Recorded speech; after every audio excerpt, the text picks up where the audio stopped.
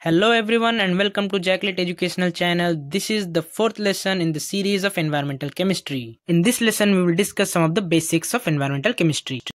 So let's start with the properties of water. So these are the main properties of water. Number one is water is a polar molecule. Polar molecule का मतलब ये होता है कि जो water का एक एंड है जो कि ऑक्सीजन का एंड है वो पार्शियल नेगेटिव होता है और जो हाइड्रोजन का एंड है वो पॉजिटिव होता है so the both the ends are having both different charge one is positive and one is negative and the angle between the two H atoms is 104.5 degree. The next property is cohesion and adhesion. So cohesion means the water molecules are attached or they are attracted towards each other that is cohesion and adhesion means the water molecules are attracted or they are attached to the other different molecules. The next thing the property is high specific heat the water is having high specific heat. What does that mean? That means it is the amount of heat that must be absorbed or lost for 1 gram of a substance to change its temperature by 1 degree Celsius. So this amount of heat is highest for the water molecule.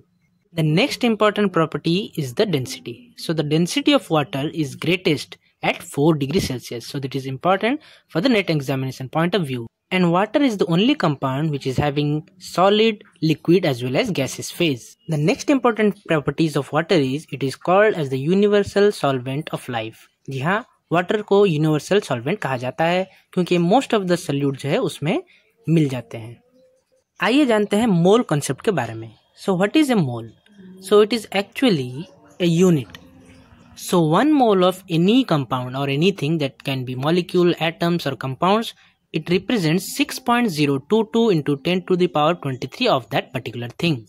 So it is called as the Avogadro's number. Next is 1 mole of most of the element contains 6.022 into 10 to the power 23 atoms as I said earlier. For example हम अगर लेंगे 1 mole of oxygen कितना होता है तो 1 mole of oxygen का मतलब होता है 6.022 into 10 to the power 23 molecules of oxygen. So now we will see more deeply about the mole concept in a solution तो अभी देखेंगे एक सोल्यूशन में किस तरह हम मोल कंसेप्ट को इम्प्लीमेंट कर सकते हैं और उसका फॉर्मूला निकालेंगे। So let us assume there is a beaker एक बीकर हमने लिया है and in that beaker the red colour denotes the solvent present in it तो रेड कलर जो है उसे हम सॉल्वेंट से डिनोट करेंगे। सो so, सॉल्वेंट वो होता है जिसका की क्वांटिटी ज़्यादा होता है जैसे ये से हम डिनोट किए हैं इस बार। फॉर एग्ज़ाम्पल वाटर और सल्यूट वो होता है जिससे हम अभी ब्लू कलर से मार्क कर रहे हैं, जो कि कम होता है क्वांटिटी में, जैसे कि for example salt so if you keep this two elements that is solute and solvent for some time then after some time this two will form a solution तो बीकर में ये दोनों मिक्स हो जाएँगे and this solute and solvent will form the solution part so this solution will be the salt solution So we'll mark this solution as C. So here we will see that A that is solute plus solvent that is B gives rise to solution that is C.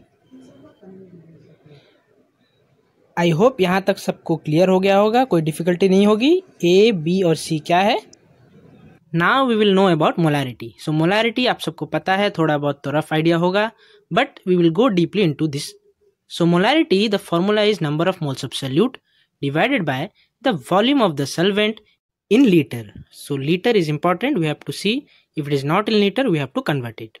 Next is molality. The formula of molality is number of moles of solute.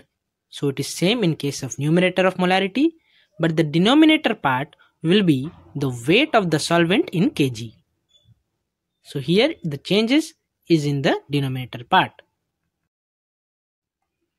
Now we have learn what is molarity and what is molality तो आपको उम्मीद है कि आपको पता हो गया होगा और मोलैरिटी को कैपिटल एम से और मोलैलिटी को स्मॉल एम से डिनोट करते हैं next as we know the molarity formula we can change it that number of moles of solute can be change as N B B is solute Similarly, the volume of the solution we can write as Vs in liter. And if the volume of the solution is in ml, so we can simply multiply the numerator by 1000. So then you will get the value in liter. Now the thing is how to calculate the moles of solute. So number of moles of solute is equal to the given mass divided by the gram molecular mass. So given mass that will be given in the question but we have to find the gram molecular mass. So for whom we have to find the gram molecular mass of the solute.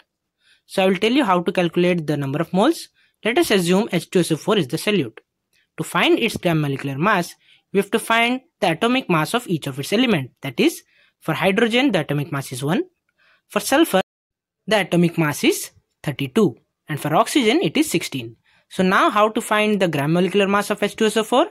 So the formula is very easy. The simple step 2 into the atomic mass of hydrogen because 2 is H2 and S is 1 into 32 and as O is 4 in this H2SO4 we have to multiply 4 into 16. Now simply we have to add everything and the answer will be 98 which will be the gram molecular mass of the H2SO4. So इस तरह हम moles और molarity किसी भी solution का निकाल सकते हैं. So that's all for today's lesson. If you like the video please like, share and subscribe.